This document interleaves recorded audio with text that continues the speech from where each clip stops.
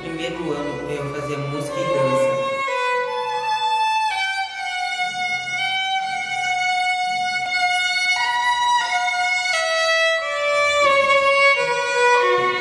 E escolhi tocar violino. Sempre gostei de música clássica, Antônio Vivaldi, Sebastião, Paganini.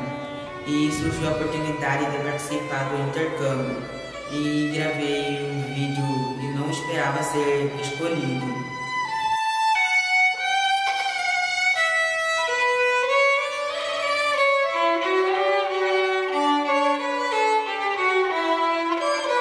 Eu estou um pouco nervoso, não vejo a hora de estar lá para aprender um pouco lá, conhecer a Orquestra do Ouro Preto. Eu agradeço a oportunidade da VAR, os professores Manuel que me ajudou, professora Caroline e Melissa. E agradeço eles todos que me ajudaram.